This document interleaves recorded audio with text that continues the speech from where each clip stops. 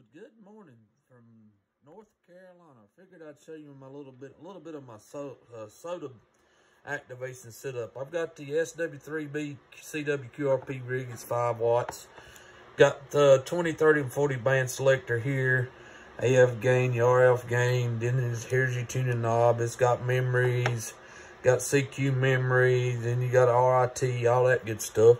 Power cord came with it. I just put some power poles on it on the end of it. It's similar to the same plug as most QRP rigs.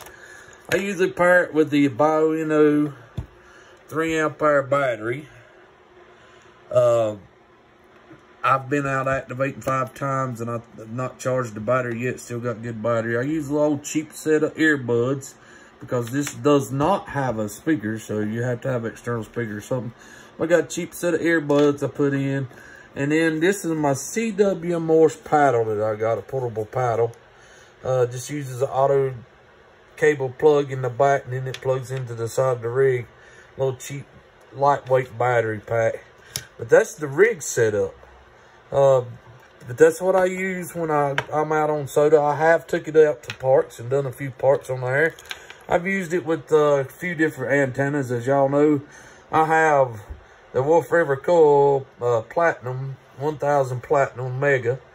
And I used to run it on a mag mount. Hopefully do a video of it soon, how I've got it set up. I've used it on that, but I've also used it on a SOTA Beam link dipole. I had a uh, Band Hopper 3 that's been converted to 17 through 40. Uh, I used a lot when I first started parks on the air. I still have it, so I take it a lot. And then I have a uh, the Par Endz. Let me see if I can reach right here and I'll get it out and we'll go over it. This is my new little antenna that I have been playing with. A little long, but it's it it's fine. Uh, the Par Endz fed EFT MTR 40 30 20 end fed. It's like 66 feet long.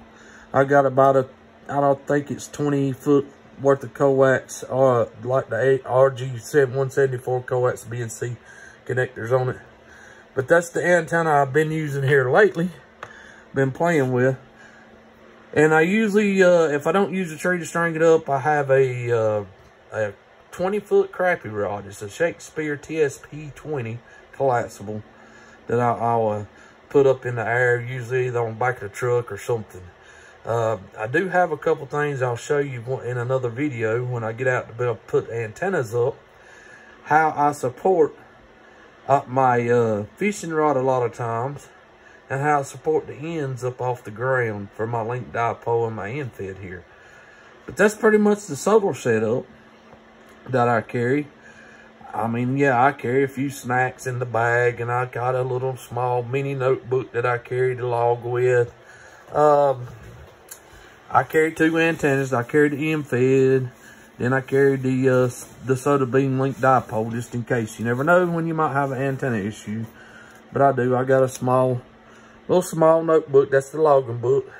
I always log on paper, pen, pen and paper and come home and put it in on the computer. And I might try to do a video on that one day. Um, how to how to do that. I do carry a little Baofeng handheld with me usually too. And I have an Arrow 2 meter 440 beam, handheld beam that I can carry with me for a VHF. But that's pretty much the setup for the SOTA. Uh, what I take out and, and use for SOTA.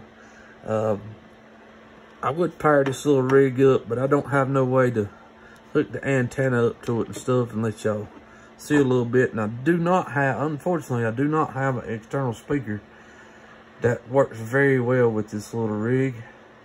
So, but that that is the uh, SW3B CW QRP rig that I use out on my SOTA activations. And like I say, the the par par the, the par ends end fed. It's the EFT-MTR. It's 40, 30, and 20 um, resonant dipole. That right there, if you take that cap off, uh, you get the uh, 30 meters. If you leave that little gold cap on, it's 20 and 40 meters. So that's pretty much how it's tuned. I've had SWR from 1.5 uh, down to about 1.2, 1.3 on on all bands. So it works very well for what I've, I've been working. I've had it out, set it up, and used it. But that's about it for this morning. I just figured I'd do another short, quick video of my SOTA setup. Plan on doing one for my parks on the air setup one day. Hopefully, I'll get out and be able to do a couple of how I set some antennas up and, and play. But I hope everyone has a wonderful day. And go chase them summits and them parks on the air. 73s from W4JL.